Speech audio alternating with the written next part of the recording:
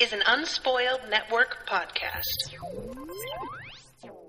This is Unspoiled, the book club, childhood favorites, covering The Phantom Tollbooth by Norton Juster, which I thought was not a name. In this book, which I had never read before, it's sort of like if Neil Gaiman and Dr. Seuss decided to rewrite Pilgrim's Progress. Hmm. I'm into it. Welcome to Unspoiled.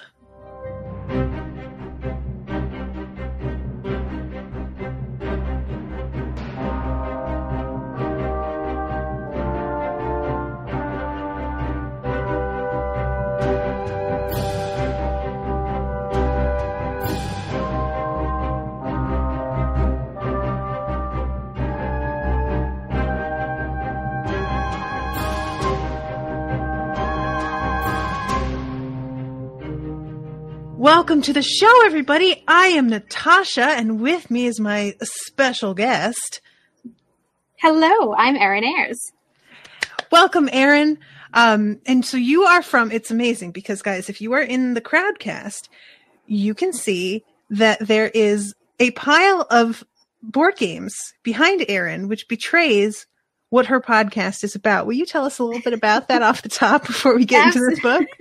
yes, definitely. Um, I am one half of Over the Tabletop, which focuses on reviewing two player board games. Um, and we do games that work for more than two players, but we focus on ones that work very well for two players. Um, you know, it's very frequently hard to get like an entire game group going. Mm-hmm. So we focus on those. If you have two like really hardcore um, board game players, like you're you'll and you listen to our podcast, you're set.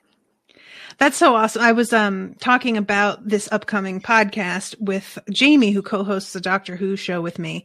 And when I was like, for two player board games, she was like, Oh, oh, I want to know about that. And I was like, exactly. We get that a lot, actually. I mean, and it really is like a specialized thing to, because it's one thing for something to say it works with two players.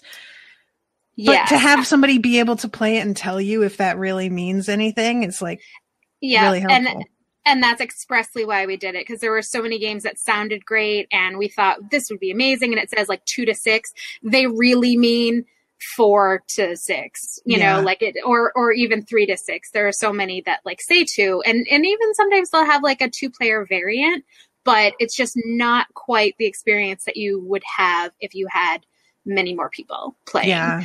Um, so we, we are, we are, uh, you know, figuring out which ones are not lying about that. right on. And Krista in the chat is saying it is epic about, will you, will you do the little camera turn that you did for me a second ago so that she can see Krista. Get ready. Sure. Because this second. shit is no joke. Look at this. Look at this. Those Girl. are books. Oh, and DVDs over there. Oh my um, god. And, and then if you go the other way, there's the bulk of the board game collection. Um, oh, and my Diet Cokes. so, yeah, this is my, this is my, this is our board games room slash study slash also my office because I work from home. So. Krista says, I own no board games. Well, Krista, I guess you should listen to this and then you can figure out how you can play with, uh, with your cat because she doesn't, well, you have a roommate now you would I would have to have friends. Yeah, that was kind of us too. We were like, well, you know, my partner and I were like, well, we know each other, so let's play two player board games. And clearly, anyone that doesn't own board games, that's because I own all of them. They're all here. um, all right. So the Phantom Tollbooth, you jumped on this because I posted in um in a podcasting group a list of books that I had read and hadn't read, and if anybody wanted to join me. What made you want to do this one?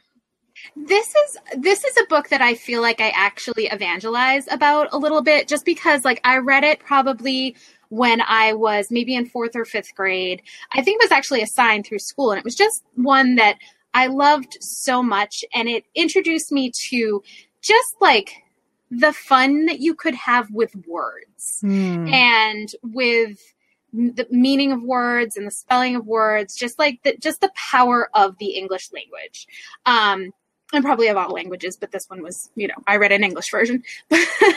but so it was one that just had such a profound impact on, um, like I'm a writer, so you know, spoiler alert, I took this very much to heart. Um, and just the just the excitement that you could have with learning and imagination. So it was one that like, and it's it's also a book that the people who love it really love it, mm-hmm. but I don't know that it's quite in the same territory as like super popular children's classics. Um, and the children's classics that I love the most always tend to be, I guess, like maybe a little bit less well known because my other my other huge favorite from childhood is like The Westing Game by Ellen Raskin. And oh I, my god, I forgot about that book. I know exactly.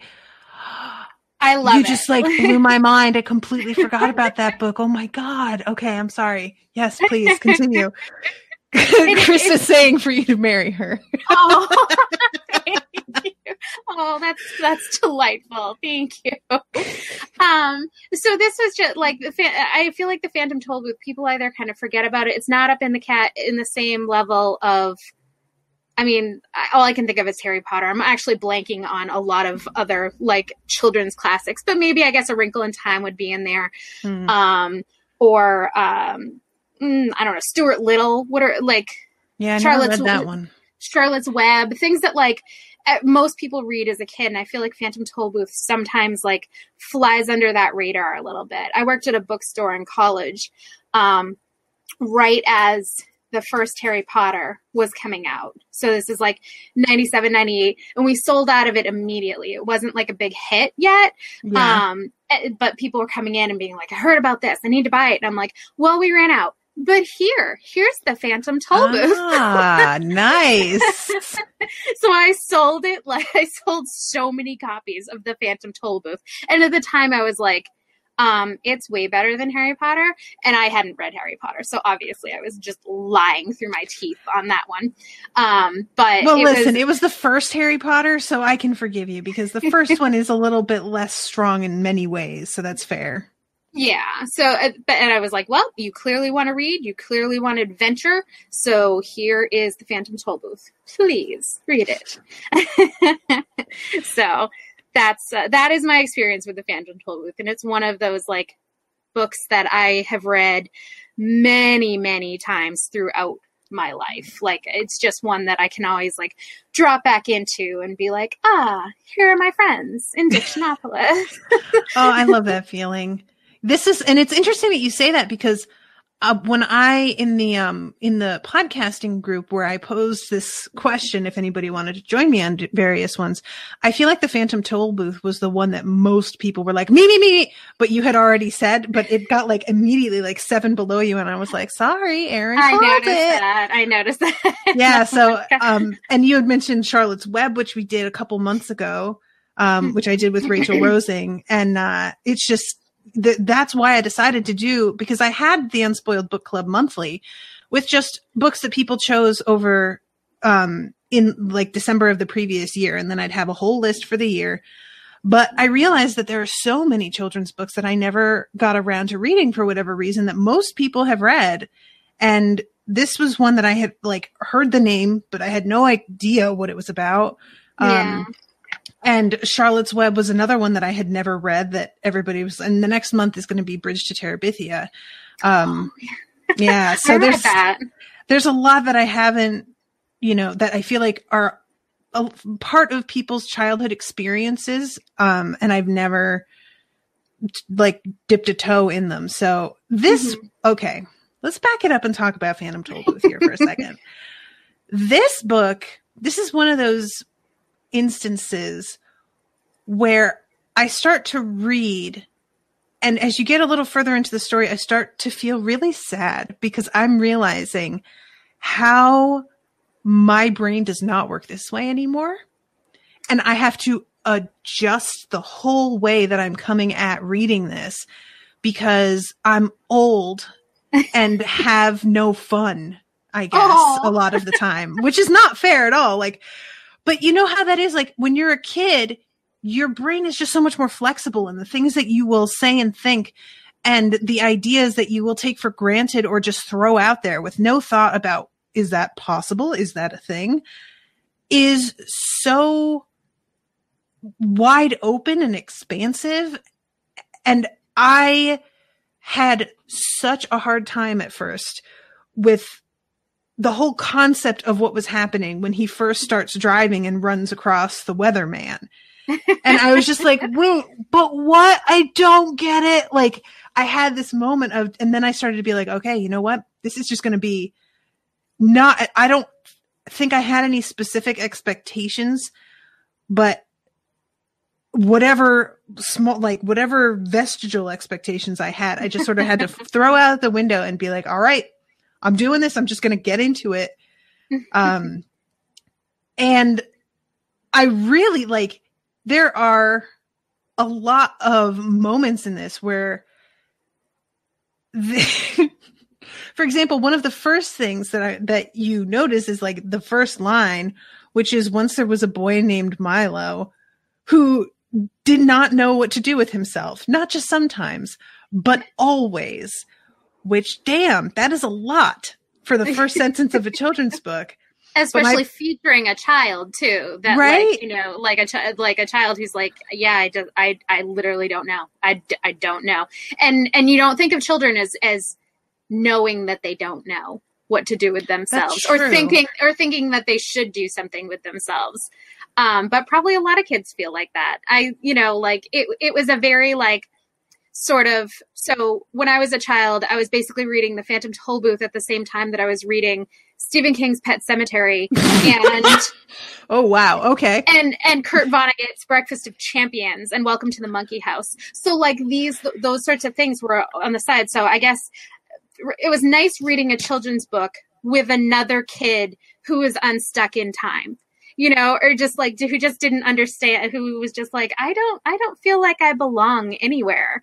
So it was it was you know heartening to read a children's book that was like i see you there. I get yeah. you my favorite line in this first like whole chapter um Worst of all, he continued sadly, there's nothing for me to do, nowhere I'd care to go, and hardly anything worth seeing. He punctuated this last thought with such a deep sigh that a house sparrow singing nearby stopped and rushed home to be with his family. That's my favorite thing in the whole world. It's so dramatic. this fucking bird is just like, okay, you know what, buddy? I just bummed out nature. Like right. that's how that's how like you know d- deep Milo's ennui is. That's so good. Um, so what starts off his adventure is that there is some force out there that is aware that he does not know what to do with himself and has decided that it's going to fix that and sends him a box with a toll booth that he can assemble, which I didn't expect. I thought it would just like, you know, be, be somewhere. So it arriving IKEA style in his room was totally unexpected. And then he has like a toy car that he gets into and he thinks that he's just playing a game where he's playing it driving up to a toll booth and is sort of like I don't know how much fun this can really be, but I guess. Which I don't have I anything else fair. right. Like if somebody was like, I bought you a, a play toll booth as a kid, would you just be kind of like, I guess.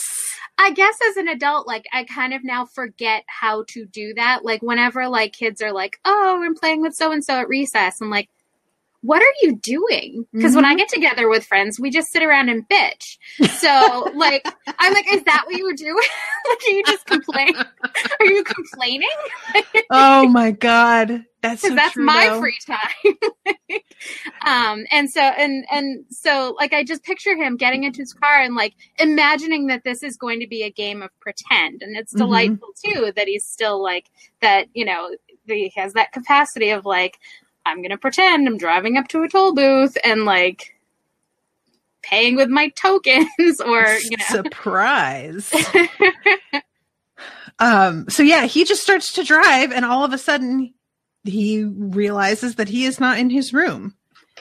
And there is a map in the car and he can choose where he wants to go. And he, the first place that he winds up is the land of expectations. Mhm. And help me out here because a lot of the wordplay and a lot of like the the methods of um like speech patterns and whatnot I understand. Why does the weatherman repeat things?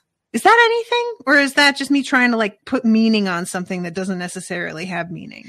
I've never really viewed that as, um, uh, you know, meaning anything except for leading into the notion of weather, weather, like homophones in general, like weather, weather, and, and things like that. Like, you know, if you were going to say two words that sounded alike, then you would, it would sound like you were seeing the same thing twice. Right. So I like I I- I feel like that's mirroring like what you know his whole deal is of weather slash weather man. Because he Um, just like at first just repeats himself. It's my, my, my, my, my. Welcome, welcome, welcome, welcome to the land of expectations, to the land of expectations, to the land of expectations.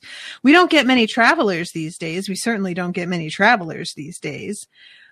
I was just like, th- and this again was my first like intro to this new world. So as a, like a, an adult reader, I'm like, what's happening? what is this? and, it, um, and and you get as a reader you get thrust into that as immediately as um um as Milo does so that Mhm. the you know the action of the the novel is is feeling the same as for the reader Right. Yeah, that's true, actually. Just as bewildered. and he asks Milos, like, so what's your reason for going here? And Milo's like, well, I don't like have, do I need one? And he finally says, well, you know what? I think I have an old one you can use. and starts looking through this like drawer, I guess, and Yeah. pulls out a medallion that just has the words "Why not" engraved on it. That's the best reason for anything. Why not? Is that awesome? Like that has to be an actual piece of jewelry that you can buy, right? Oh, it must be. It must be. In my head, I was like, someone has laser cut that onto a piece of wood at some Mhm. point. You can even. There's no way you can't find that on on Etsy. You know, in this in this day and age. it's a pretty good thing. Like it's a pretty good way to live your life. Just asking yourself that, and like as long as it's not going to hurt yourself or someone, then just be Yeah. like, all right, you know. Yeah, why not? And it's fun to think of reasons um, as tan- as a tangible thing too. Like I always feel like you know the land of expectations is set up as like, well, you have to get here before you can get anywhere else. You have to set expectations, and even if you don't go beyond this at all, like, you, at least this is where you start out. Um, so it's you know it's it it's nice to think of like okay expectations that's where i'm going to pick up my reason like my my purpose in life which hopefully it can get one of those on etsy too I know, But- right?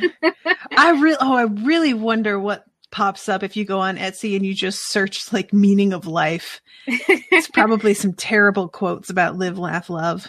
yeah probably my may, hopefully some monty python too Oh, that's true. Yeah, I didn't think of that. That's better. Okay. That's Um, acceptable. so he gets uh he finally gets to um the word market. And there are five gentlemen who travel together and talk at the same like they each speak after the other using synonyms of what the other just said. Um Mhm. so uh, it would certainly make more sense if you use just one word nonsense, ridiculous, fantastic, absurd, bosh, they chorused again. We're not interested in making sense. It's not our job, scolded the first, which is my favorite. Besides, explained the second, one word is as good as another, so why not use them all? Then you don't have to choose which one is right, advised the third. Besides, sighed the fourth, if one is right, then ten are ten times as right. Point. set and match right? So this is where like with the with the weatherman, I was still kind of like, I don't hmm. And then we get to these guys and I'm like, all right, no, you know what? I get it now. This is fun. and and and I do wonder, like, as an adult, if you come to the um, if you come to this story as an adult, if that comes off because it is you know aggressively whimsical in places and or if that comes off as this is fun this is you know enjoyable or if it's like this book is an internet argument. And oh god. No i didn't have that thank god. I and, I and I'm always very leery of like, okay, like this this is the book is illustrating that whole like nice little like that valley between logic and and whimsy Mhm. and, which you know is a nice nice place to live and if you're dying on either hill um sometimes it's sometimes it's a little much so i guess i wa- i worried that the book would feel like a little much um There was a point that we'll get to where I feel aggressively whimsical is an excellent way to put it. Um, but that's further on and involves the demons. Oh so yeah that's pretty that's really the the spot that I had a hard time where I was like, all right, dude, you know what? You need to calm down. Um, just settle on down norton Juster. a little bit, a little bit. It wasn't terrible, but it was it was like the kind of thing that I like to think that even as a child reading it, I would have been like, all right, I get it. You don't need to so hard, but um so we find we get our first like view of what the marketplace is really like and the descriptions of it it's ju- you know we had the first look at concepts as a tangible object with the reasons but here we really get like that that was not a one-off. That's how this whole universe is going to work. Um, huge wooden wheeled carts streamed into the market square from the orchards and long caravans bound for the four corners of the kingdom made ready to leave.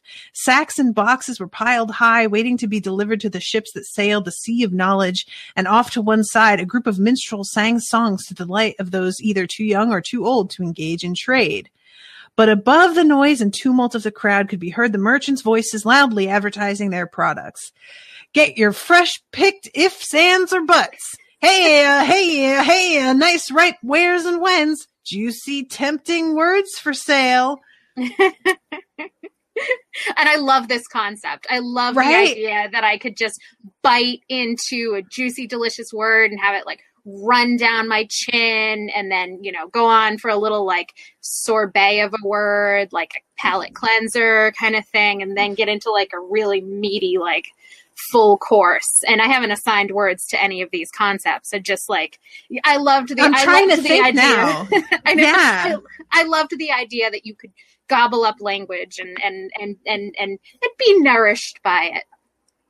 That's a good, like, um, now that you're saying like a good meaty word, and I'm trying to think what a meaty word is.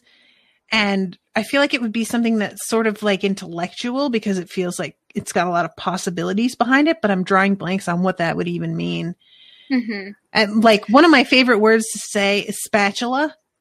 And I feel like spatula is like a side dish, right? It's like super practical too. It's it's super practical. It's like it's good for you. It's healthy.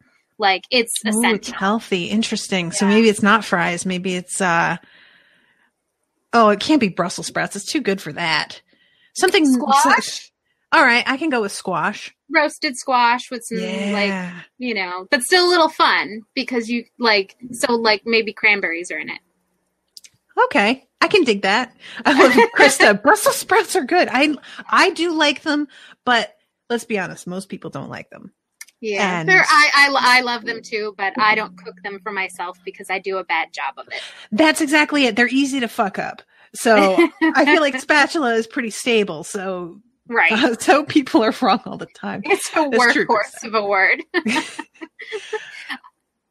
Um, I'm I'm picturing like elucidate as a good word for like like maybe like a light like that is the that's the the sorbet course. That's your palate cleanser. Yeah, I like Um, that. Um Still okay. not, still not there on the on the um on the the the, the entree though, but we'll figure it out. Yeah, I'm going to think this over as we as we continue on and if I come up with Mhm. one by the end, I'll let you know. Okay. Um and we have a uh a spelling bee which I the story of how this can you spell everything? asked Milo admiringly. Just about, replied the bee with a hint of pride in his voice. You see, years ago, I was just an ordinary bee, minding my own business, smelling flowers all day, and occasionally picking up part time work in people's bonnets. then one day I realized I'd never amount to anything without an education, and being naturally adept at spelling, I decided that, and he gets cut off, which introduces the humbug. Oh. the humbug is drawn so well too, like with the like he's just you know like the the the, the line the pen and ink drawings, like he's all like closer together but also like big and and and blockish um the the the that's another like i mean i'm sure we'll get to it but the illustrations really really sell a lot of the concepts in in the phantom tollbooth as well That's really there was there's one demon.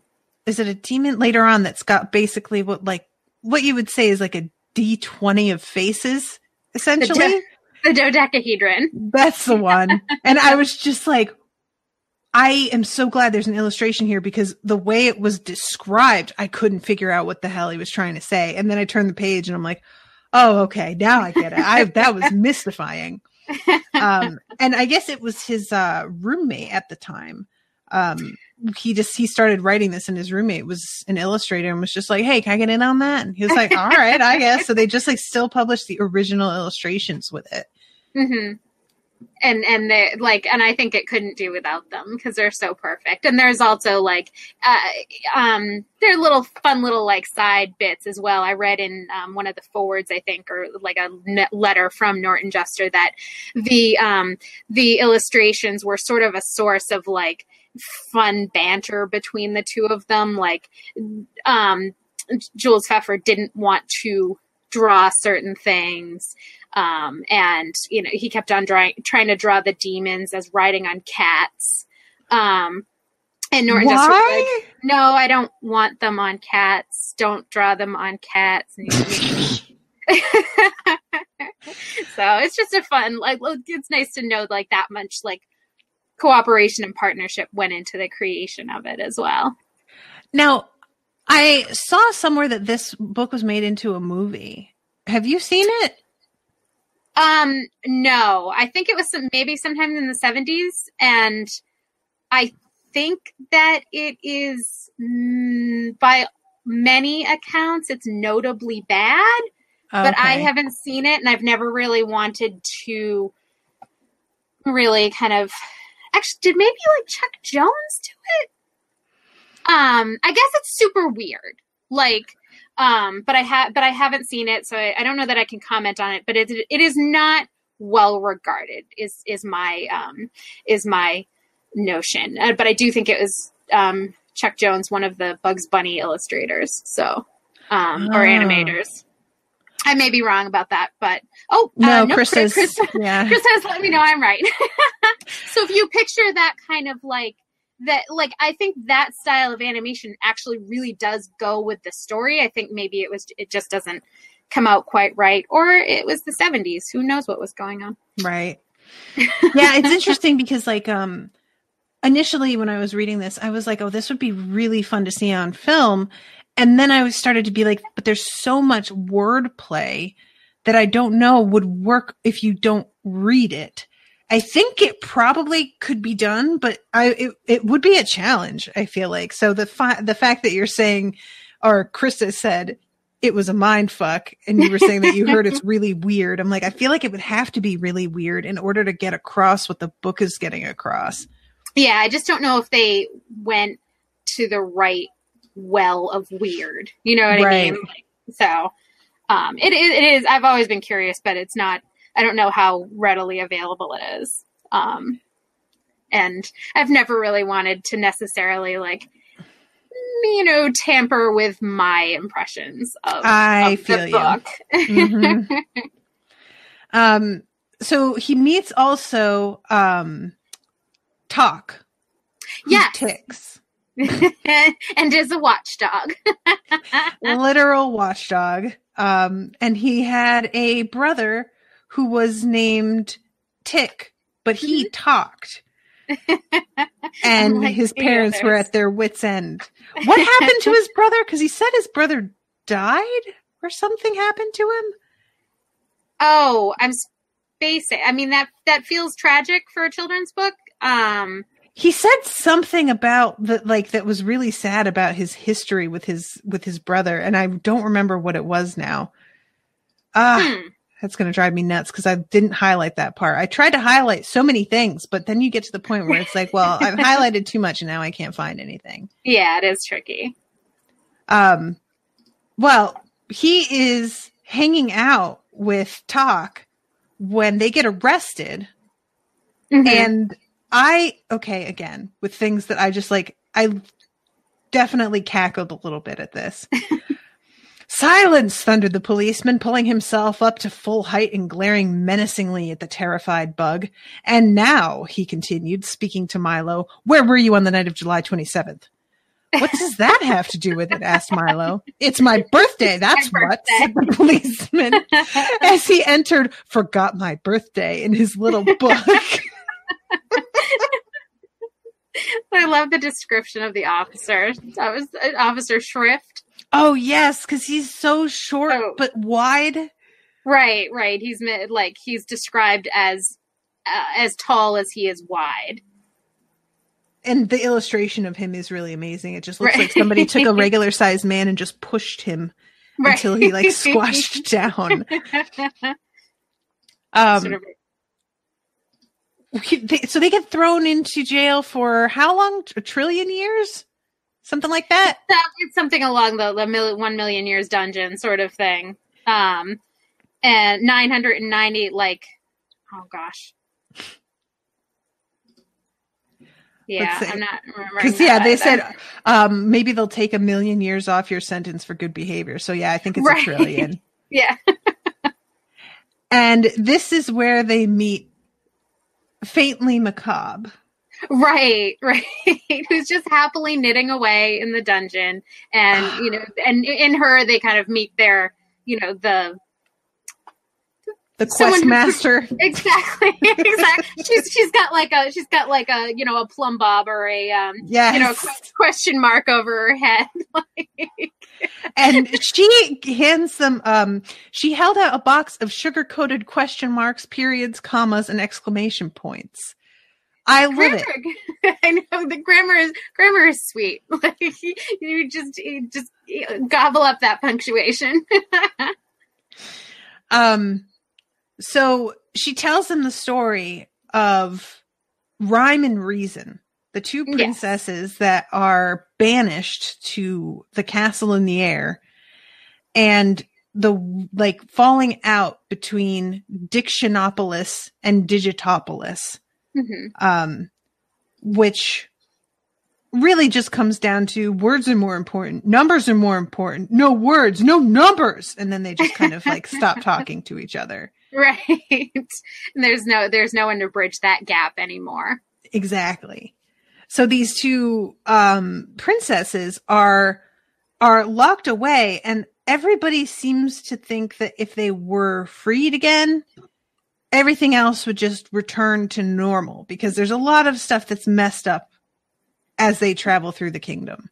Right. And you get the sense too that even people like um like the the um chaps that all use every single word all at once. That stuff Mhm. like that would would also level out and balance out a little bit because rhyme and reason provided like a balance to the um the land that you know people weren't just willy-nilly using every single word they knew or Right. th- th- th- there was there was there was there was more recognition that like words are great they are also something to be careful about and to Right. u- use wisely so that's um that i think is part of their quest to to find rhyme and reason as well Yeah, so they this um witch witch she's a witch. Um which she's Uh, been like pushed down here and she I think says that she would be released if they if these two princesses were saved also, right? right Um and I can't remember exactly where. Oh, okay. Um, I'm afraid there's not much a little boy and a dog can do, but never you mind. It's not so bad. I've grown quite used to it here. Um, but you must be going or else you'll waste the whole day. Oh, we're here for six million years, sighed Milo. I don't see any way to escape. Nonsense, scolded the witch. You mustn't, mustn't take Officer Shrift so seriously. He loves to put people in prison, but he doesn't care about keeping them there. Now you just press that button in the wall and be on your way. Um, oh no, she went away. Come back. Erin.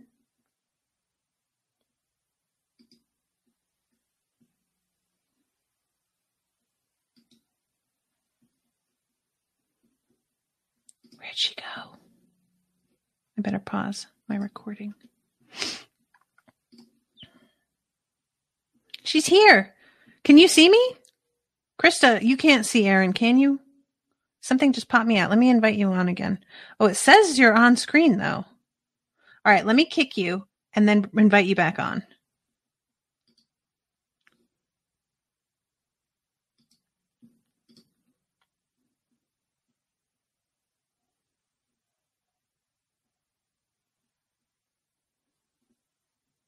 She got sent to jail for one trillion years, indeed.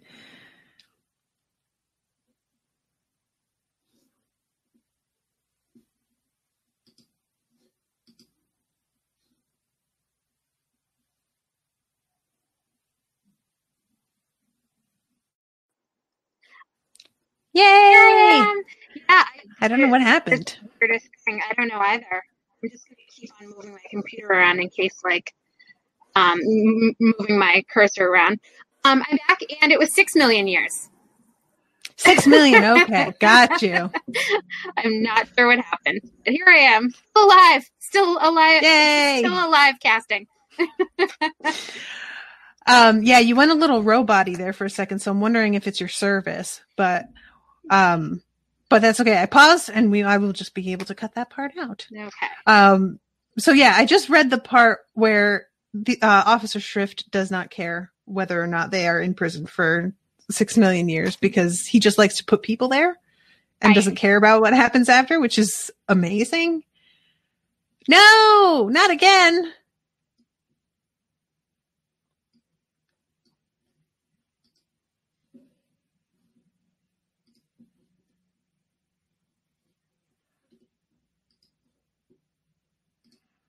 Oh dear.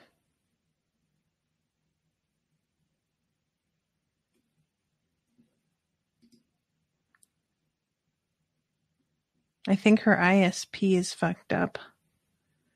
That might be because, like, when she did you hear when she came back? Was it roboty for you? I think that might be part of it. Oh dear. I may have to do the rest of this on Skype.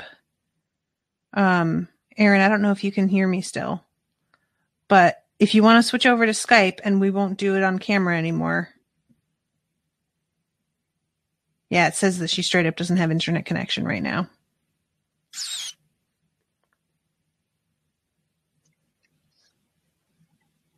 I'm really sorry. I don't know what it's doing. Um, I like my internet has has been steady throughout the whole time that um, I've been here. I'm not even sure what it's and it's so weird. Can you hear me now? I can, but you're definitely like in and out. Do you want to switch to just doing um Skype?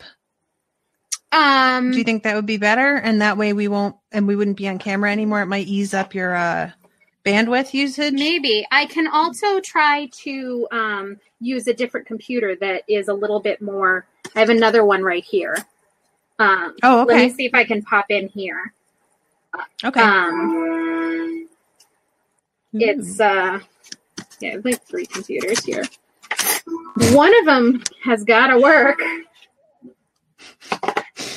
Krista, the sound of joy. All right, here. Da, da, da. Um, I will. So I will still be attached to one computer taping, and then using this other one to film. Okay. Uh, email me a magic link.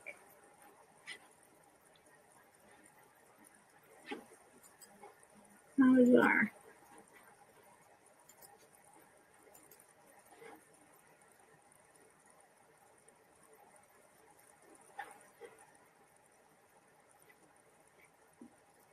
Am I also photogenic? All right. I'm booting her from this one, but I'm going to add her on the other one.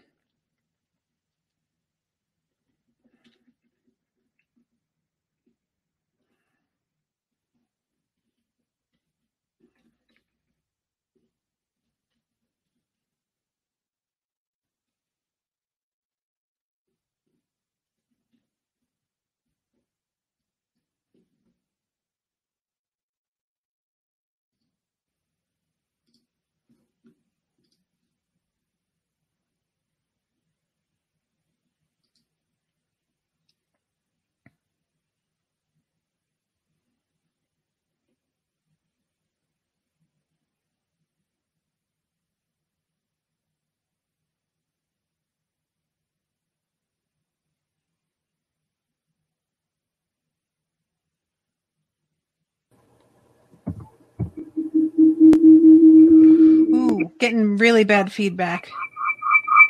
Oh, hold on. I turned your sound off briefly. Okay.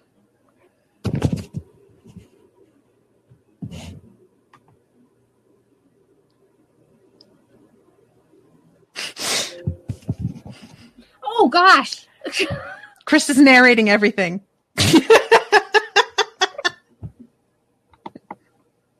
Okay. It, You're good. okay, excellent. All right, cool. All right, I'm going to start recording again. I paused that one. Doobie doobie doo. All right. Okay, so it turns out that they can just leave. That there's literally a button in the prison that they can just push to go. Yep. which uh I feel like is a real like like a mind fuck that would be kind of amazing to have in like juvie where you just kind of mess with a kid and and try and scare him straight and throw him in juvie and then you're like but there's a button in there somewhere if he finds it he can push it and he'll just get right out but he doesn't know it's there so we'll see if he ever figures it out um and they get on the road um where, where is it? Ha- oh, right. They get brought to the banquet. Um, and like Shrift sees them and is like, "Oh, hey, what's up? oh man, time flies. Has it been a million years already?" Like he just Just no no concept of time or numbers or anything like that. Nothing. Um, and I love this so much because they offer him a rigmarole, a ragamuffin. Perhaps you'd care for a synonym bun. Have you seen that meme? no, I don't think so. Somebody on Twitter posted a picture of cinnamon rolls and they misspoke, they mistyped and they wrote synonym rolls. and somebody retweeted it just like grammar used to make. I have never seen that, but that is delightful. um and it they it turns out you can like make your own dinner so like they bring out stuff and then you stand up and make a speech and whatever you say you want is on your plate Because you have to eat your words. i love this so much and i feel i felt so deeply for milo in this situation that he had no idea that's how it works and he's asked to go first and he doesn't get any dinner and everybody else around him is eating these amazing meals and he's just kind of looking on like whoa gee whiz you know like Because Milo, that's tough, buddy. Because he's like, "Hello, you know, ladies and gentlemen, thank you for." Now, this is a question that I do have. When they're eating their words and they've Mhm. ordered like you know roast beef, mashed potatoes, pumpkin pie, I'm assuming that the words show up, but they taste like roast beef, mashed potatoes, and pumpkin pie, or have those actual foods shown up. Oh. This is something that's always actually been like, you know, a puzzle to me. Interesting. Um, I'm trying to find the exact uh, the exact like spot where they place their orders. um, the waiters reappeared immediately carrying heavy, hot trays, which they set on the table. Each one contained the exact words spoken by the various guests, and they all began im- eating immediately with great gusto. So, yeah, you are correct. See? Yeah. this is the shit that I didn't pick up on the first time at all. so that's pretty fun. Um all right. So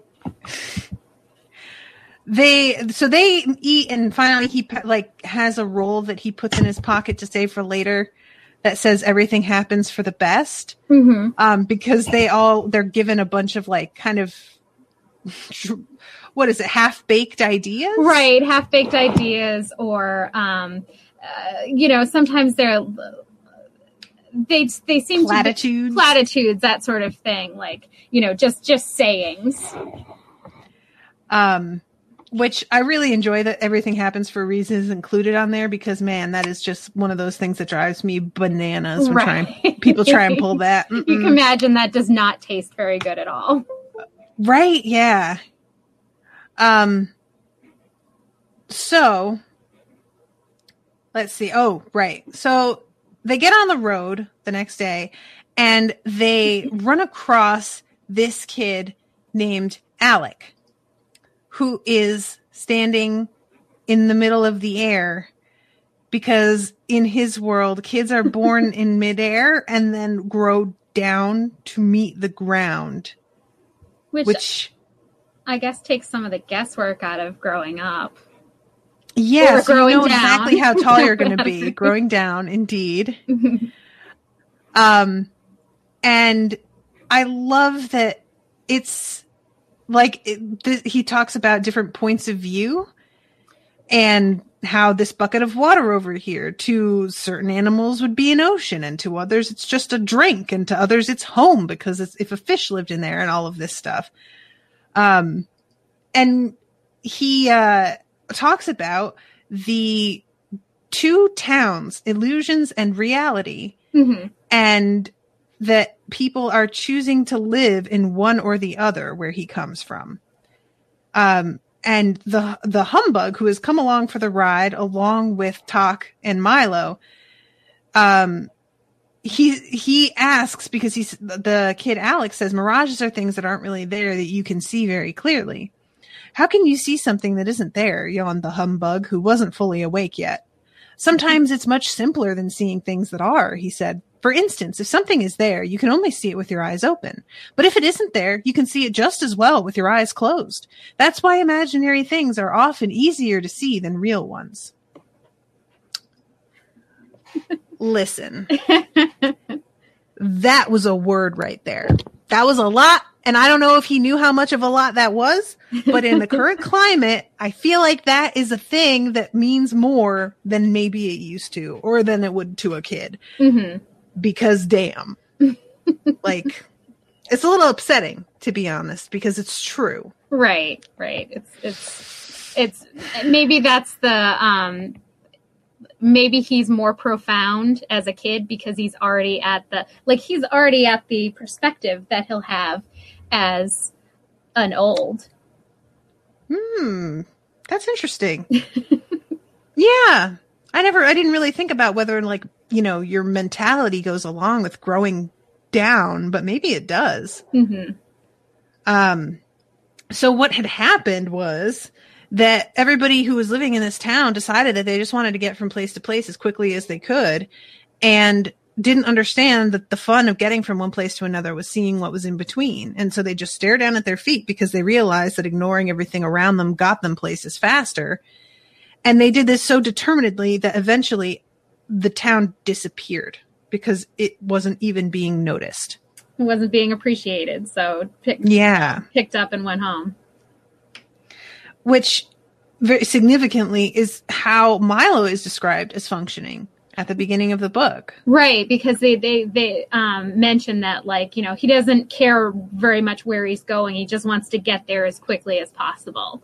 Um, and now he's faced with you know seeing like the consequ- what the consequences of that would be in this land. Um, and you know maybe they're a little bit outlandish, but you know to to a kid he can think like oh well you know, I don't want everything around me to disappear. And he's also on this elaborate, confusing sort of trip where he may or may not be like, where, you know, for better, for worse, he has to pay very close attention to everything around him because, you know, who knows if he's going to fall in a, into a bucket of water that happens to be the size of an ocean.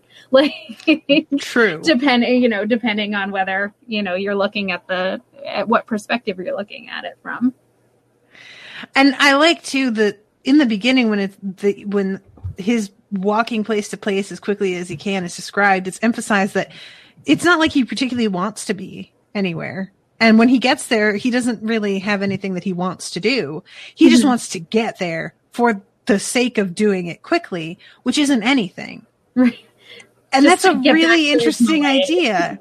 Right? Yeah. I'm I'm rushing towards my boredom Mhm. like yes i'm bored but at least i'm i'm there and doing it which is it, that's such like a strange concept to like wrap your mind around but it it just rings so true Yeah.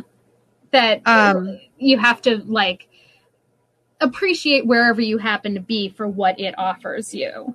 Um, Mhm. And earlier in the book, too, he says, like, you know, when he was in school, he wanted to be home. When he was at home, he wanted to be at school. Like, I, you know, they're just presenting like craving something, some some level of action to occur. Mhm.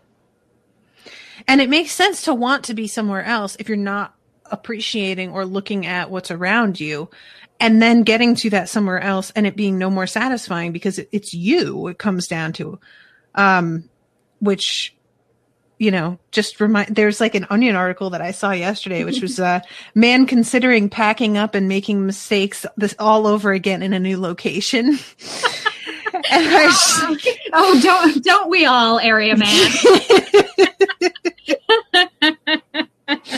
because it's so it's something like I traveled a lot as a kid or as a young adult and I moved around a lot and it Mm. really was tempting to think that things would be different in different places and the truth is it's just not like there there are certainly going to be some circumstantial differences living in Texas versus Connecticut for example yeah. but but the fundamentals about what makes you happy and not usually don't have anything to do with where you are it's about you Right. And what and what you're putting out into the world around you. Mhm.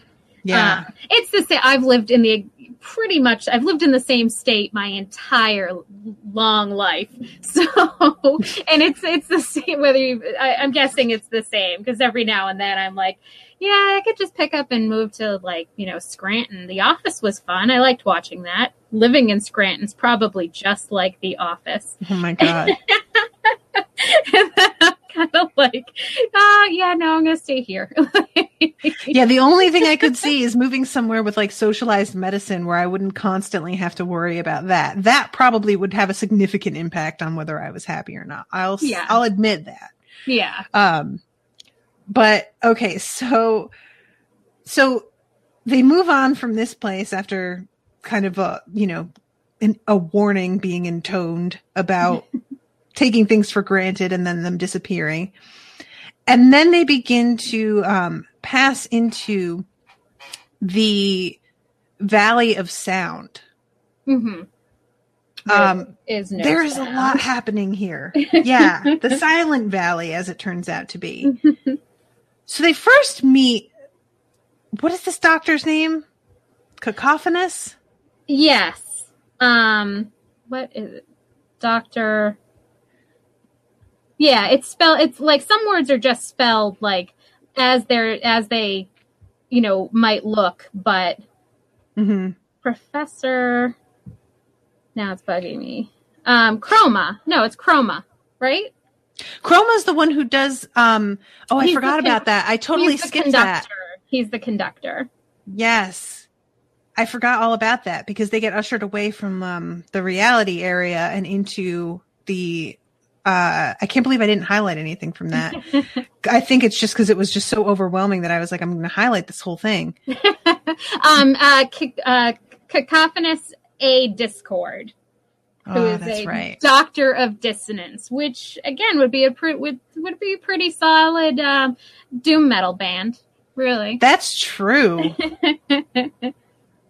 um, and he has his uh, buddy, the Awful Dynne, Oh, which uh, there's layers going on there because Dynne is also a genie, so Mhm. he's like in a little itty bitty living space. but he's And he's, out. mer- he's very merry as well. Like he Yes,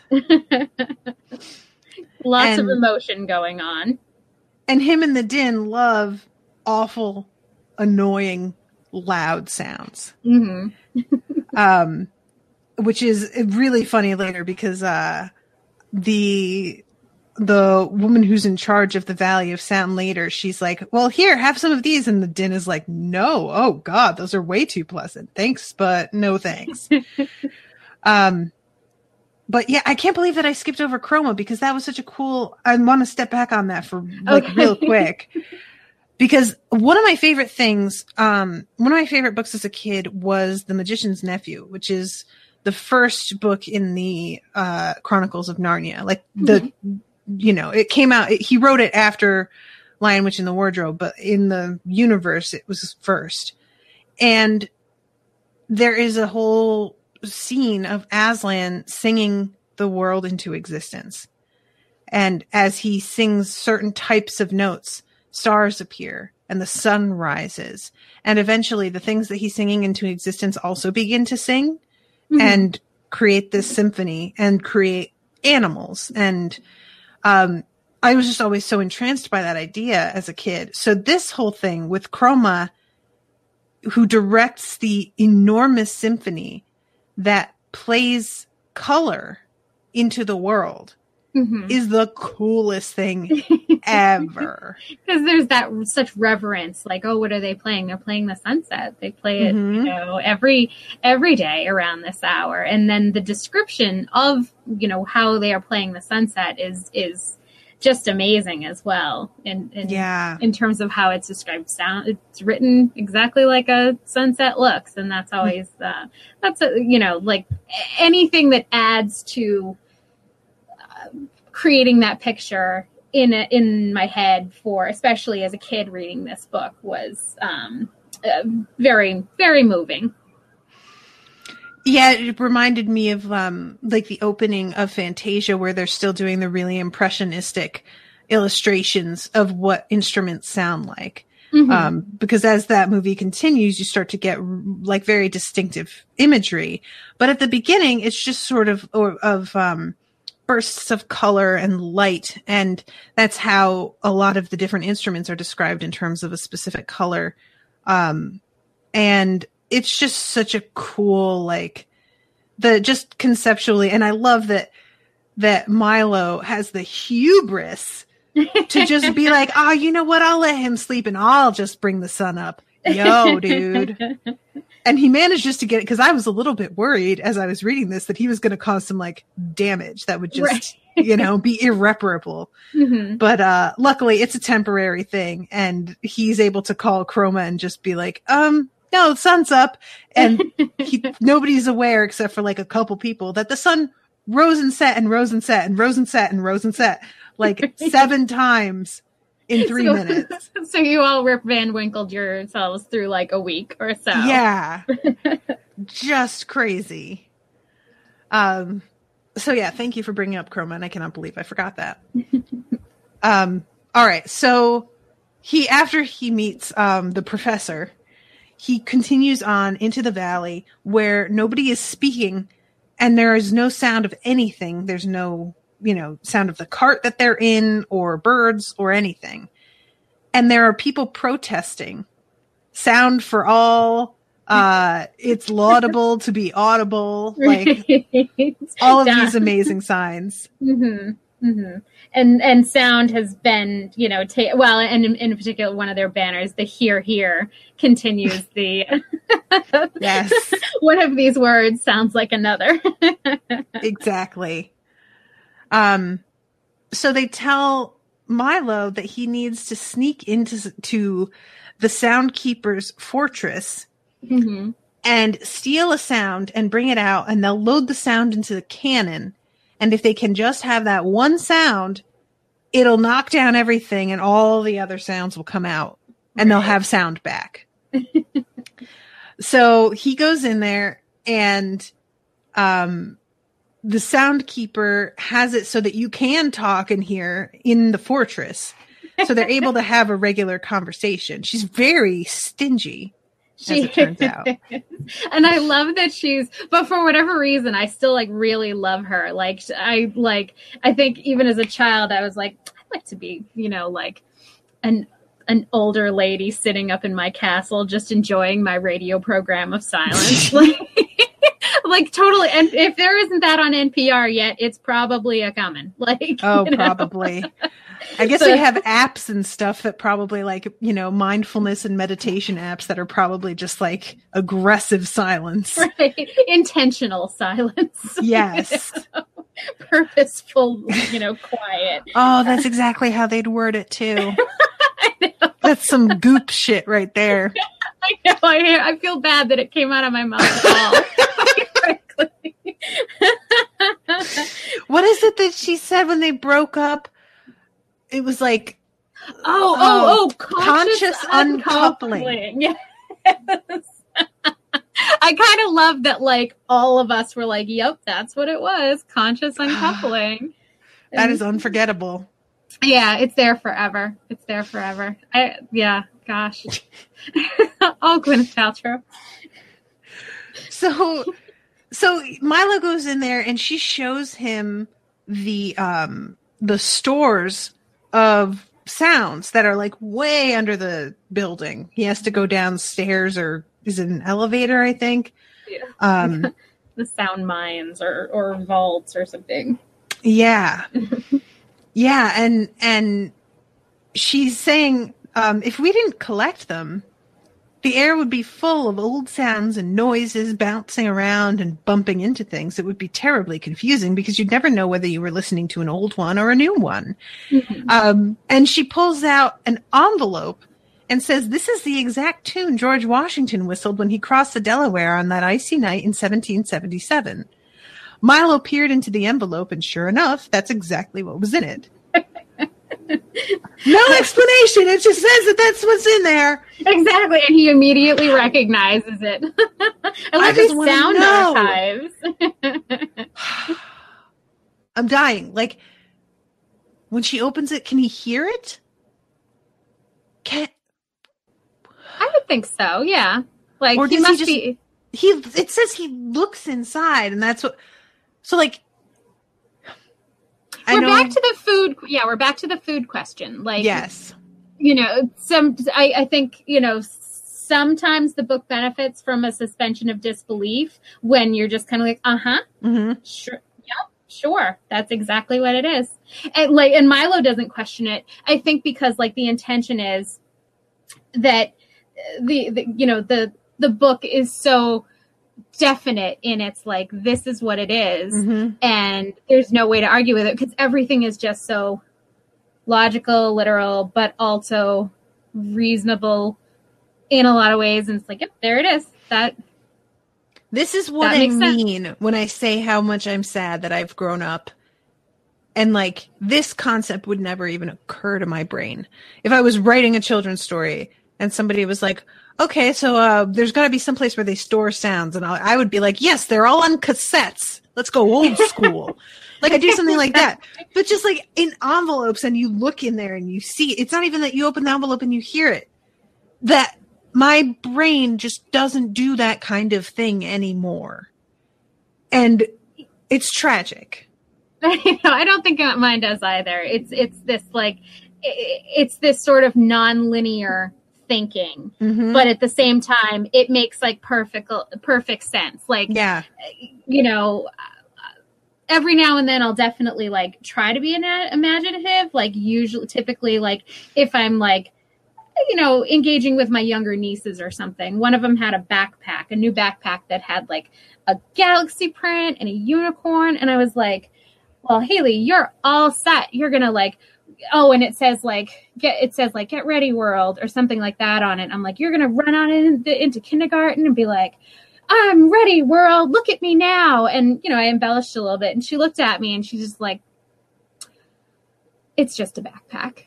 Let's not get crazy. And i'm like okay no, you are too Oh, damn. you are too young to be jaded. And i'm like wait, wait are children not as imaginative now? I don't know. I feel like i should give her phantom tollbooth and then it'll just Mm, expand You know her what? mind immediately. I approve this message. give all of your children everywhere phantom tollbooth Uh, that's like because I I've I've used this example before when I was a, a kid, I was filling I was coloring in a coloring book that had a picture of a butterfly and I colored each of the wings completely differently. And my uncle at the time was like, Why didn't you color them both the same? And I looked at him like with such disdain and was just like, Cause that would be boring. And like, you know, like nowadays would it even occur to me to do them differently? No. But as a kid, it didn't occur to me to do them the same because why would you fucking do that? it's And- your butterfly you know Right. you, you do whatever you want i think So- i would uh, color them differently now um i have to say i'm not a super like i find coloring to be a lot of pressure um particularly like the adult coloring books that have come out like there are like very very tiny like i could probably do a children's coloring book and feel less pressured but like one coloring page would take me forever Yep. to color everything and i do feel obligated to color everything like differently but complementary colors you know like I, I like there to be some like rhythm you know rhyme and reason to my coloring and there's just a lot of pressure to do it right like I- even though it it's makes supposed to me be happy to hear zero you say that. yeah, because those are always like touted as like, oh, this is so relaxing. And I'm like, for It's fucking not at who? all. It's not. You know what? Sitting and staring at you know my phone is relaxing. Like Yeah. You know, like I just play Bejeweled for like an, a half hour and just kind of disconnect my brain and just connect colors. That's fine. But that's like, I'm just such a perfectionist. It's something that I could make mistakes or do something. And I, it's not like you can undo it, you know? Yeah. no. right, right. Once colored, uh, once it's colored, like you can't do anything. I am actually, I feel, I feel actually less pressure from crocheting or knitting because that, like, I can just frog that back out. Like, Yep. Yeah, I see it- that. The, the beauty is in the impermanence. Yep. Oh, that's a good idea. Online coloring, and it probably Yeah. lets it probably lets you color in an entire like You just tap it. block all at once and be like, Mhm. "This is pink." Now it's not. Yeah, I like I that think that because I've seen those apps, and I think that you can choose to either like color it with your finger as if it were, or you can tap it and it fills in the whole thing. Mhm. Um, so yeah, I could see that. Hmm. Um, my my fourth computer has a pen, and I could definitely, you know, shoot. girl, you need to chill out. My I'm gonna get on a- computer. I'm gonna get on a third one oh my god. Um, and then and then the last the last one that I will use to just be like how with with thinking in this fashion. But I've never seen a sound. Milo insisted. You've never seen them out there, she said, waving her arm in the general direction of everywhere, except once in a while on a very cold morning when they freeze. But in here we see them all the time. So he claps his hands and all of these like crisp white sheets of paper just fly out of the air. Um, just all of these different things that create actual objects. And it's just the coolest idea. I just love it. I love it. I love it. that does seem like like what clapping would sound like. Um, so he goes out there and what what he manages because she's like got her eye on him when he's in the Right. archives and is not about to let him leave with anything. And when he's in the uh, parlor with her, he starts to say but and stops himself. And that act of stopping from saying it catches the word in his mouth and he goes outside and just- just spits the word into the cannon. And they just use the word but to knock down the entire fortress and get all of the sound out. And it's kind of amazing because she's like laying in the rubble, like sitting there, like really sort of despondent, but at the same time is like, yeah, it's probably for the best, but I had it really well collect- organized. I know, Yeah. I know. you can imagine like the plight of like li- like librarians everywhere when you know people do put books back on the shelf even though they're told not to. Oh, right.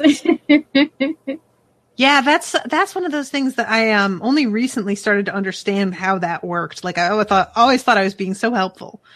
And uh th- don't they like according to how many books have to be taken and put back on the shelf, that's like how they determine how many books are being browsed and how like there's another aspect of it besides putting them back in the wrong spot.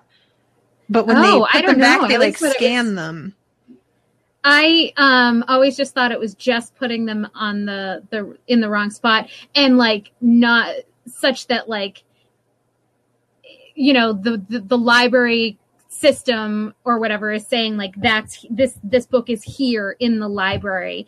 And it is because it hasn't been taken out but you know it's like a Hannah Arendt book sitting in the knitting section. Right. and um you know so i th- that that was the only aspect. And i'm taking that almost purely from the 1996 parker posey movie party girl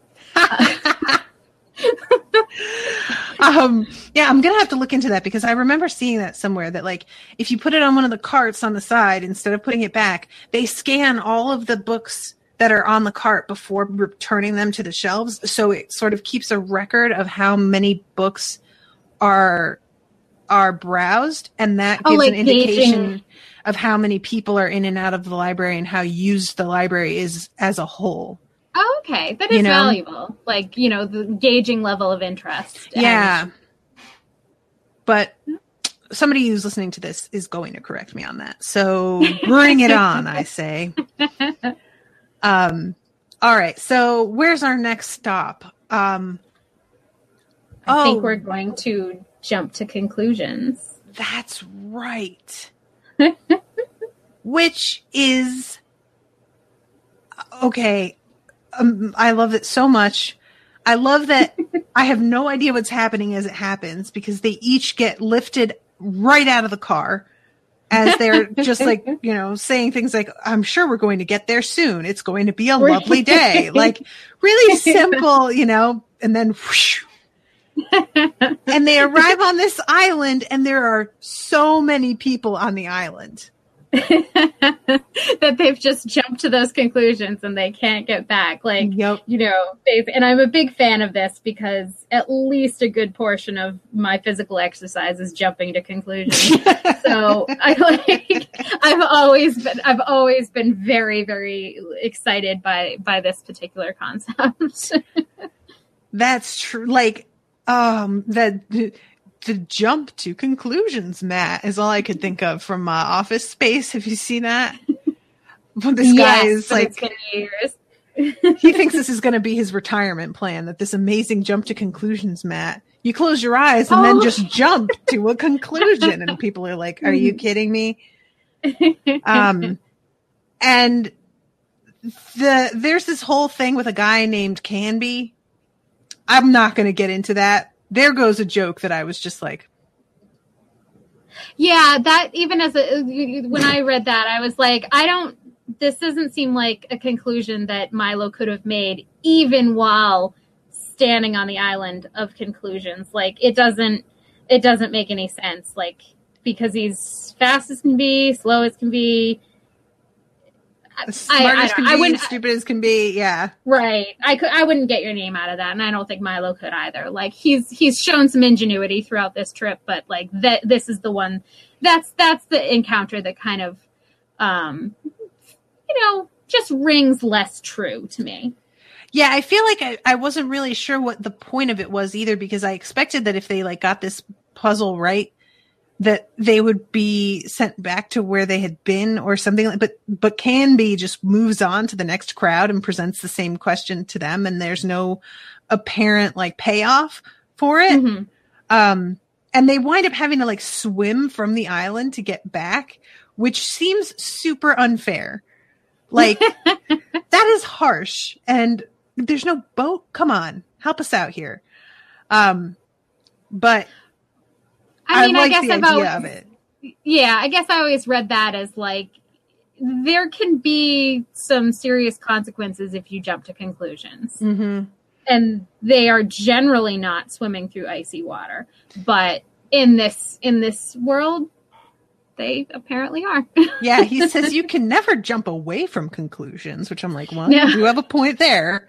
exactly That's why we're so terribly crowded here.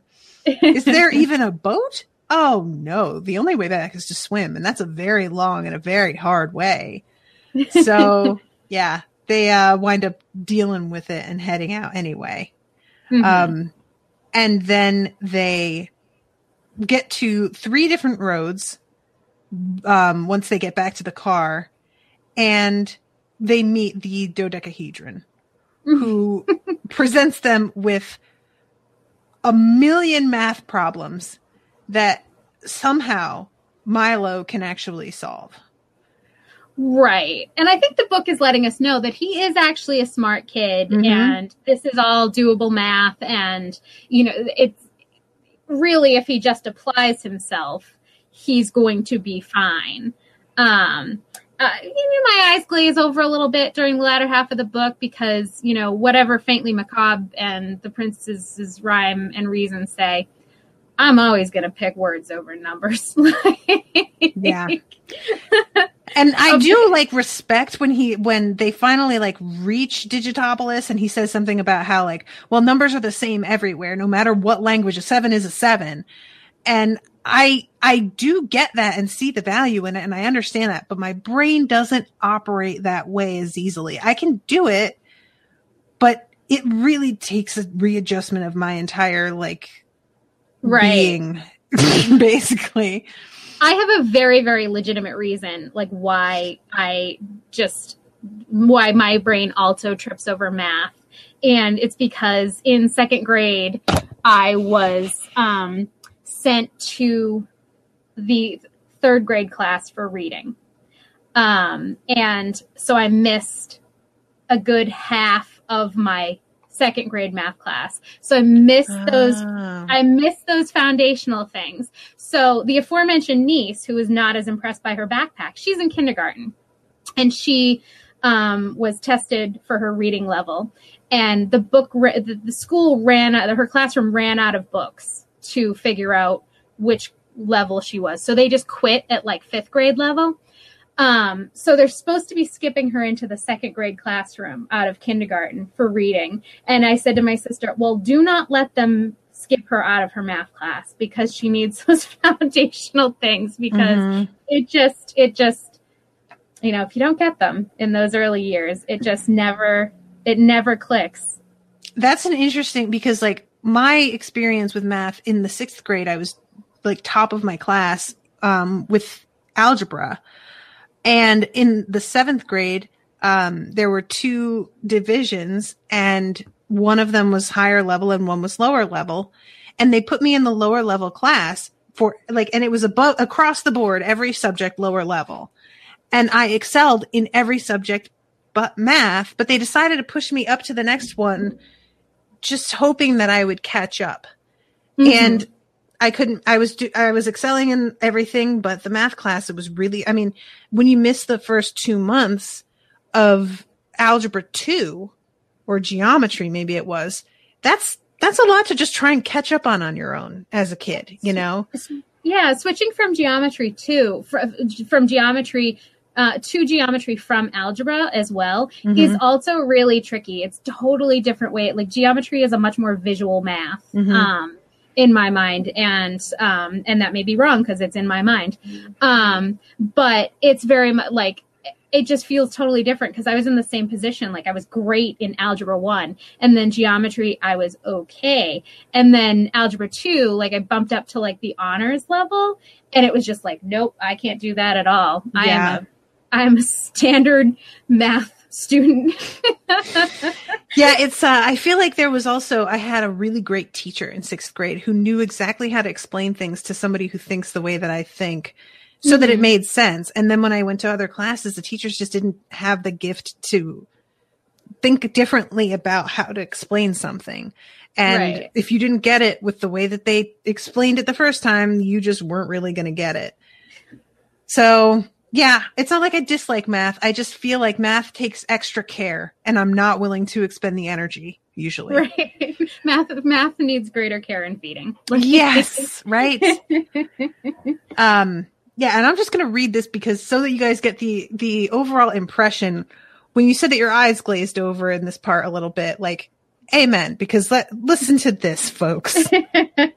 If a small car carrying three people at 30 miles an hour for 10 minutes along a road five miles longer at 11:35 in the morning starts at the same time as three people who have been traveling in a little automobile at 20 miles an hour for 15 minutes on another road exactly twice as long as one half the distance of the other, while a dog, a bug, and a boy travel an equal distance in the same time or the same distance in an equal time along a third road in mid-October, then which one arrives first and which is the best way to go?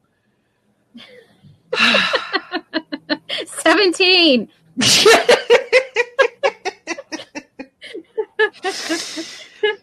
it's just and i i love that like he's you know throwing in things like mid-october to just like confuse the Right. issue you know that is what it feels like to take standardized tests too because they That just was- decide to fuck with you Yeah, and like I had, fr- I had um, uh, one of my best friends would do logic problems for like logic puzzles for fun, and I try to do them. It'd be like, well, Susan is sitting next to Mary at this dinner, and who's wearing a green hat and who's wearing blue shoes? And I, you know, I would read this and I'd be like, well, Susan isn't wearing a blue hat and green shoes because those don't go together. Like, oh my god that's amazing uh susan sweetie we need to talk about this that you're doing right now and I feel Oh. bad that I used her example because Susan was my best friend that that loved to do logic problems, and logic problems have served her well in life. And I'm very pleased. She was so good at them, and I was just always like, I'm gonna color in the dots. this Oh, one doesn't have a dot in it. That's amazing. I love that so much. Um, so it turns out, long story short, all of the three uh, roads get there in the exact same amount of time. So it does not matter. Um, and I, okay, then, um, they, when they pull, when they get there, he's talking about like the mines and that you have to dig for them, the numbers. Um, Mhm. Don't you know anything at all about numbers? Well, I don't think they're very important, snapped Milo, too embarrassed to admit the truth. Not important, roared the decahedron, turning red with fury.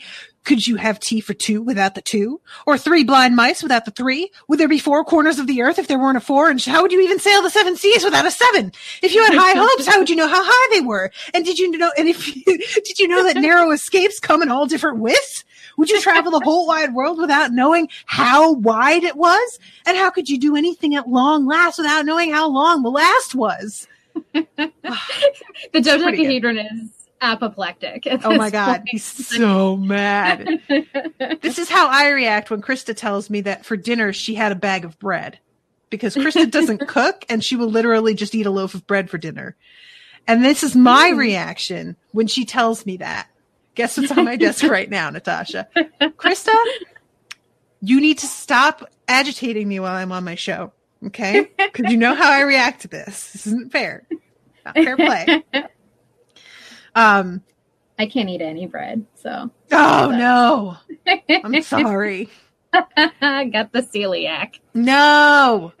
uh, I, I guess there's like a lot more out there now, and there's some decent like bl- bread replacements, but it's still There are, you- yeah. It's so you got to be so careful if it's celiac.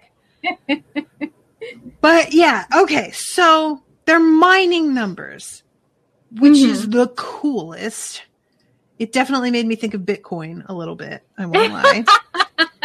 Absolutely. this is like a precursor to cryptocurrency. right? and so and and everything in this uh, in the phantom tollbooth is very like artfully and cryptically um discussed so adding. Boo.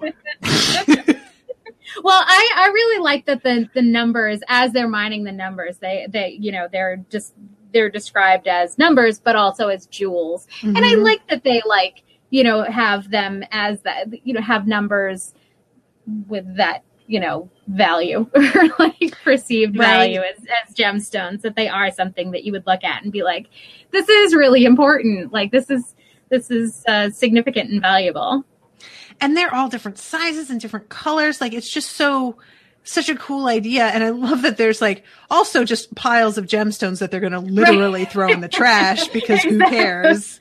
Right right. Because you know if you didn't have numbers the, how would you know how much those rubies and and uh, sapphires are worth? Heartbreaking. I wanted milo to take one so bad and for him to just be like if you're just going to throw it out can i just like take one home? And then he'd be set for life. I know. In a Goonies sort of situation, Right. like oh, took out my marbles and put some numbers in. Um. So and yeah, uh, he he's like looking at one of the numbers too, and he drops it, and it breaks in two. Oh, don't worry about that," said the mathematician as he scooped up the pieces. We use the broken ones for fractions. I just love like I'm I I don't imagine that in the writing of the book this was like as effortless as it seems, but it really just like everything just flows so nicely. Of course the broken ones are fractions. right? Exactly. You know, like it's it just everything is just fits so well. Except for uh, Canby, as as we've yes. discussed. Um, and so they finally they get invited to dinner and they eat all of this stew and they wind up way hungrier in the end than they were to start off with. And it out that they were eating sub- subtraction stew. So every Right. time they ate, it was like negative food. They're eventually going to just lead to famine. Right. And I'm really curious because like they're saying like, well, you know, you wait until you're full again and then you you eat so that you can and I'm like, but how do you get full again? How does that work? It's never explained. It's just sort of treated like you just gradually refill I as guess. the day goes you- on. Yeah, do you eat like I don't know, like multiplication porridge or something? Like if you just want a quick snack or like the subtraction and which is the desirable state? Like do you want to be full or do you want to be famished? I don't like one one would assume not famished, but One would think, yeah. Um, in a few hours, you'll be nice and full again, just in time for dinner. And I'm just like, but how? People don't just manufacture their own food like internally. That's not how this works. Um, you know, one of the three laws of transfiguration. right? Yes. See, we're speaking a language that I understand. I thought that might help. Um, so then comes the conversation where they're trying to convince him that he needs to cooperate with with the uh, king of Dictionopolis. yeah, Dictiono- Digitopolis needs to cooperate with with Digitopolis. So it's Azaz who's the king of Dictionopolis, and this is the Mathemagician who's the king of um, Digitopolis. Right. Um, so he says like he basically is like, well, we'll never agree on anything. and Milo's like, yeah, he says you'll never agree on anything either. But if you both both agree that you don't agree on anything, doesn't that mean that you agree on something? it's like, God damn it. well, shit. right? like now that they need to that that because he's been tricked, that they're going to now they're they have to cooperate. Well, if there's one thing about this land that that seems to be a constant is that like no one can argue with logic. That's true. You know, even even if the logic itself goes too far and is beyond what actual actual logic would be, because rhyme and reason are gone, they you have to agree. You can't like when presented with a problem that has no particular solution or has only one solution, um, then then they have to agree. The the the the the, the, the book is internally consistent in that way. Mm-hmm. Yeah, agreed. That's a good point. um, so he gives him a, a pencil as a magic wand to take with him, along with the uh, the sounds of laughter and cheering and the words. Um, mm-hmm. And Milo heads on into the mountains of ignorance for chapter 17, the unwelcoming committee. I'm not going to get too hard into this. okay. Because you weren't super into the demons. The first one, Trivium, I really liked. With him being, being like, I need you to just like move these grains of sand, but I only have tweezers. and, like, and he's so dapper about it too. He's like, there's something about the the fact that he's not only dapper but also just standing there and and letting them get on with it mm-hmm. and not contributing at all. It feels really like middle management and true. Like right. there's a lot going on there is what i'm saying. So as, as a grown-up that spoke to me in a very right. kind of way it's this very like it's this well dressed malevolence mm-hmm. like this you know the, this um Billy Bulger, who was a um, politician in Massachusetts, once called, uh, once accused me of unsleeping malevolence, um, and it, it, So, and I and I always liked that. It was like you know, constant, constant, and dedicated. He didn't like journalists. unsleeping malevolence. Wow. That's good uh, stuff. I've always aspired to. um so they have like the, after that the demon of insincerity um then they, there's a giant that is uh afraid of everything that is so hmm. ferocious because if others found out it would just die that is pretty fun. And I'm I'm like down with all of this until we have like the long description of all of the different demons. And then it started to go over too hard for me. Um, because you know, we get like, well, these demons looked like each other, but looked totally different, or one looked exactly like the other two, which those two look totally different. Um, and there's all of these like sort of foibles and and uh, pitfalls and bad habits that are like given bodies and are following them. Um, right. And it's just, I'm trying to find the exact spot where this starts because they they're like chasing them at one point before they get to the um the castle, but I can't mm-hmm. find it. Skipped right past it. I guess I didn't highlight it. Um, but yeah, it was just a little heavy on the like the um the symbolism like whereas i felt everything before had very clever wordplay this was just outright like metaphor that was right. much less like fun and playful and and um letting you figure it out as you read it I it wasn't like, as heavy handed as this yeah i feel like the the first three where you like meet them and and are in the situation and are figuring out what this demon is for that it could have been fine with just that and he didn't need to get into all of the other types of demons that appeared. You know what I mean?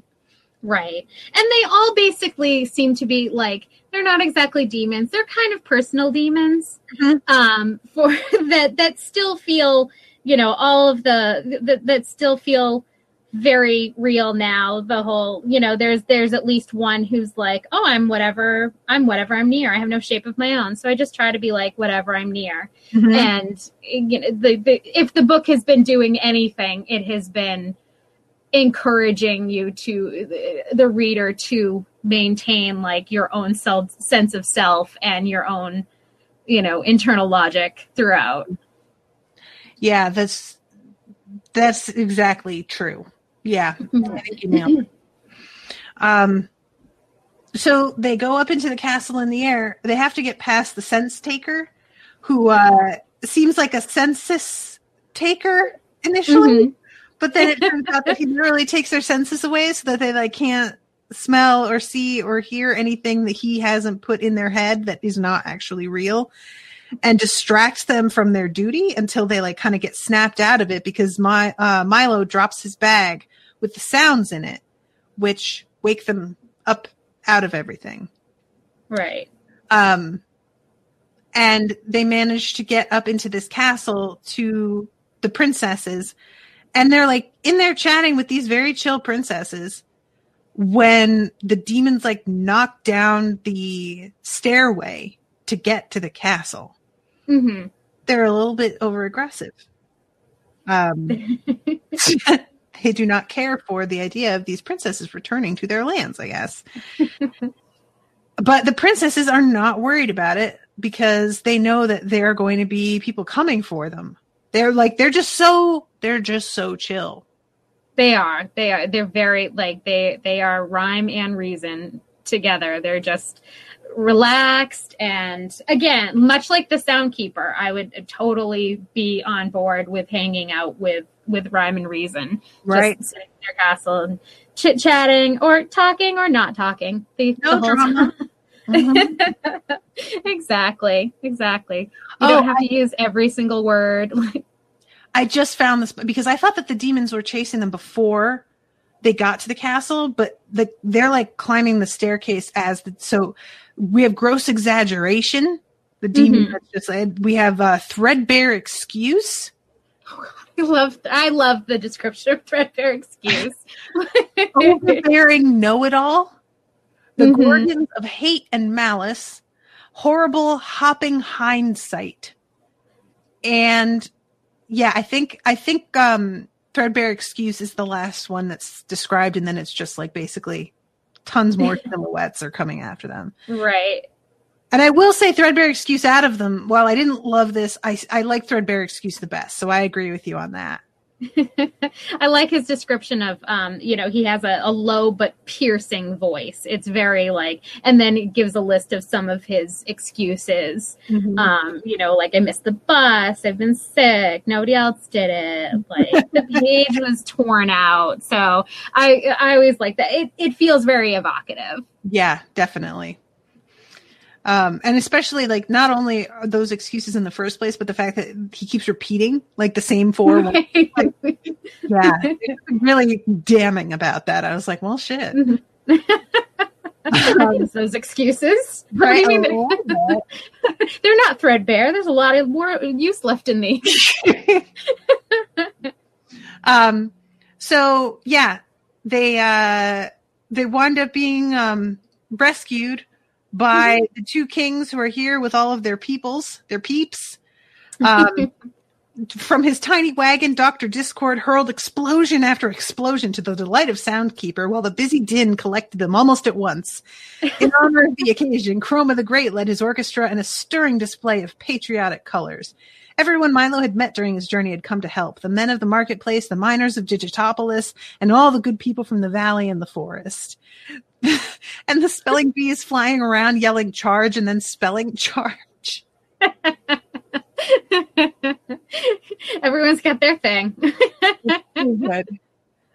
Um, so rhyme and reason are reinstated. Um, they and Milo and his uh, compatriots are declared heroes of the realm, Mhm. and everything is returned to where it should be and everything it's a it's a happy ending. Um and there's meals and songs and yada yada yada. And so milo has to return home. He realizes suddenly that like i've been gone a while actually. I hope nobody's worried. And i was just like he says i think it's been weeks. And i'm just like kid you've been gone weeks and you hope nobody's worried. Your parents are probably a wreck. Although i did probably i did expect that he would come home and no time would have passed. But Mhm. you know if you're thinking like this kid like ooh get your butt whipped when you get home. Damn. Um I like that it shows that he's, you know, he's kind of a thoughtful kid too. Like, oh goodness, like because you know other kids in in this sort of fantastical situation would not really be. They'd be like, I'm a star. Look at me. I'm king shit of you know. Mount, ignorant mountain like oh my god what a different story this would be if it were dudley dursley who found his way here exactly just taking over all the like letters oh my god i love this idea i just want to run with this now eating all the subtractions to do until Right. he uh, disappear Like, what's happening to me oh, messed up but yeah, so he uh he takes his little car and he gets his little coin to go back through and he winds up in his bedroom and the world suddenly looks to be a lot brighter than it used to. And he's just Mhm. like, wow, color, look at this place. This is amazing. Cool and everything just seems more interesting and he's just like engaged with the world in a way that he has not been.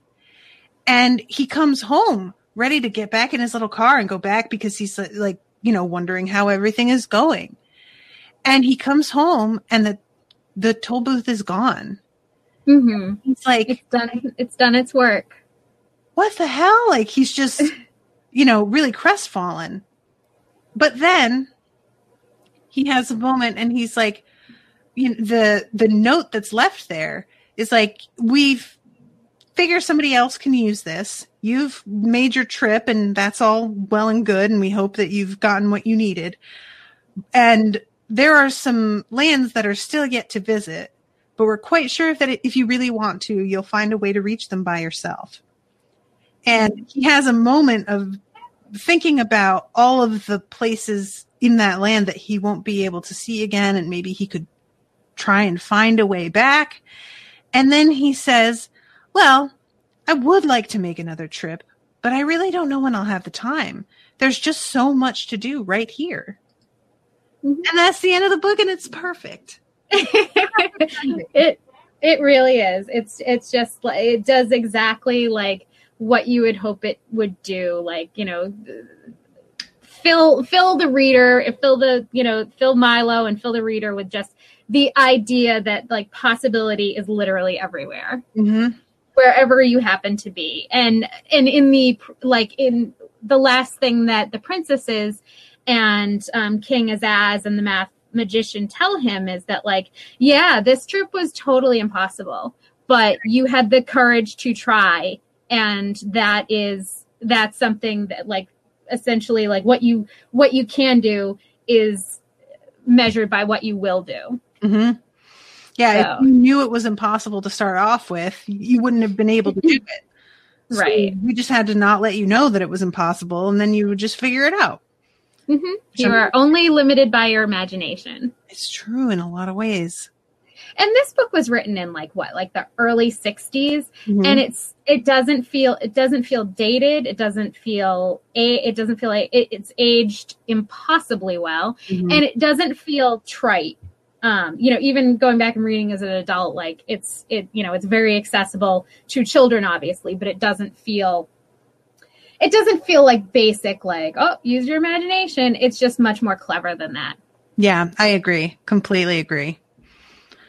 Yeah, so this was a lot of fun and just like totally outside of what I was. Ex- I again, I don't really know what I was expecting, but I guess just like a more traditional adventure, you know, like, and it was just so.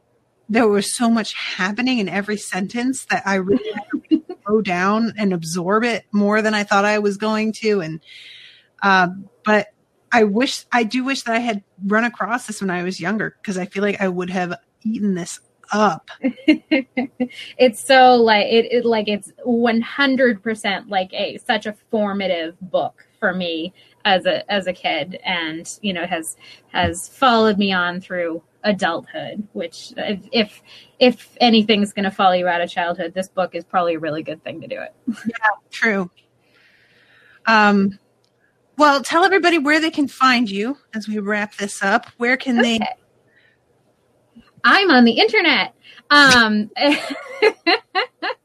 uh, we are at Over the Tabletop on Twitter, just at Over the Tabletop. We're on Facebook, Over the Tabletop. We are on whatever pod catching device or software you have um, over the tabletop. Uh, if you want to email us, it's over the tabletop podcast at gmail.com. Um, give a listen. Yeah, you know, engage with us. Tell us games you'd like to to know about, that kind of thing. And that's where I am.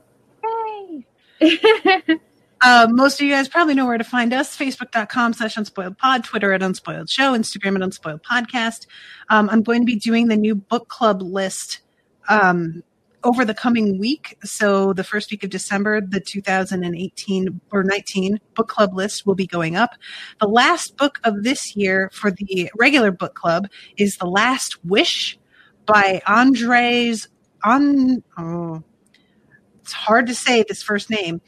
A N D R Z E J. Andrzej Sapkowski. Mm, I hope I'm I'm butchering it. I'm sure. Um, I don't feel like I can help. it's uh, called The Last Witch, and it is the first installment in um, the inspiration for the video game The Witcher. Oh. And then the December childhood favorite pick is Bridge to Terabithia, which I've heard is heartbreaking. I am trying to mentally prepare myself for that. But I talked to the author of that on the phone once. Really? Oh, that's cool. Yeah. um, Krista, you cannot prepare for that book. Yeah, I have a feeling. Uh, that's the kind of impression yeah. I'm getting from everybody. So I'm like, all right. Um, but yeah, so if you are interested in checking out the new book club list for 2019, I'll be loading it on the Facebook page once it's done, and you'll be also be able to find it at um, unspoiledpodcast.com slash book club list. So, um, well, thank you very, very much, Erin, for joining me for this. This was super fun. Yay! I'm so glad you liked the book. Me too. I'm always worried that I'm just going to like hate something that is super special to other people, but I really like and again, I wish that I had found this when I was a kid. This might be something that I have to buy for children in my life. There aren't many, but they're going to get loaded with books, though, all of them. um, Krista, I would never have spoken to you again. Sorry, Krista. um, all right, everybody. Well, thank you all so much for listening. And I will see you again in a couple of weeks with a new episode. Toodaloo, motherfuckers.